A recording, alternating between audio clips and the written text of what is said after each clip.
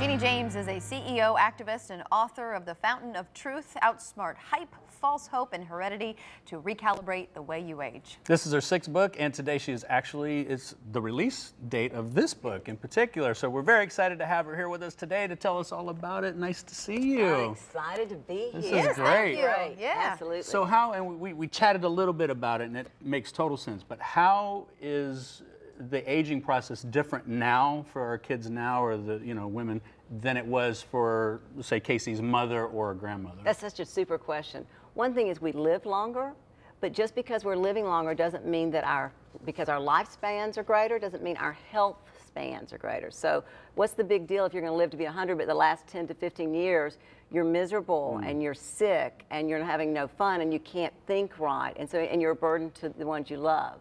The things that are accelerating our aging, the foods we eat, the stress in our lives, the fact that we don't move around like we mm-hmm. used to, like our mothers and grandmothers used to, are the same things that are really setting up our kids to have an unhealthy reproductive development. So the fact that I'm 53 and I'm worried about my health at 60 and 70, and my girlfriends at 30 or 40 are worried about not getting fat and not getting sick, mm. those same lifestyle choices we recommend, I recommend in the Fountain of Truth, are the same things that will help little kids not go into an early puberty, healthy eating, getting more exercise, and envi- invo- uh, avoiding the toxins that are in our everyday environment. And what do you think are the top five things that speed up the aging process, specifically in women? Uh, well, for women and men, and you said it, Okay. aging is aging, and so Yeah. let's stay away from that anti-aging trend because I mean, if you're anti-aging, what are you doing? You're dying, Yeah, right? right, right. okay. Right, right. So what we really want to say, as you age, the first thing is that your hormone balance shifts at a cellular level.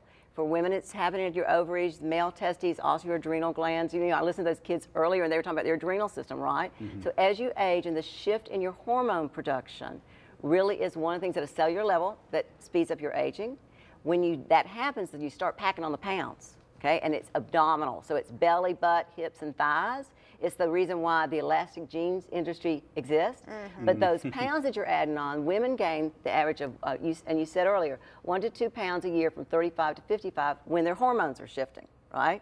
So that belly fat is a health risk and actually accelerates the aging. Stress is a killer, we all know that. But stress also at a cellular level really sets you up for the clock to start ticking faster and faster. It's going to show up in your body, it's going to show up in your face, but at a cellular level, it's going to make you really sick and decrease your, your longevity. So And that's even, really huge. even as important, and, and what you may not see, you know, particularly in fats, but if you're not eating the right foods, is visceral fat. Absolutely. And what that does to the heart and, and other things You know, it's, a, it's an epidemic here. So we're all aging, of course, but if we age badly, we're going to get sicker. And our heart disease, diabetes, metabolic syndrome, it's just a host of things, Alzheimer's disease. You know. So what can we do? Because we got our notebooks out, and so obviously, is that what you kind of dive into? I with dive the into the lifestyle and then also tell you when you need a doctor to help. Okay. So what everyone, every man and woman can do if they can kick off our stilettos and get to a grocery store with a health food aisle is go for foods like cruciferous vegetables, your broccoli and your cauliflower. Those Live actually foods. help mm. balance you naturally. And citrus fruits, flax seeds, lignans, flaxseed oil, they'll actually push the unhealthy hormones out through your bowel, through the feces. Isn't that charming to talk about on Hey, Anyway, listen, no, Yeah, it's what it is. Yeah, it's and then you know to exercise as if your life depends on it.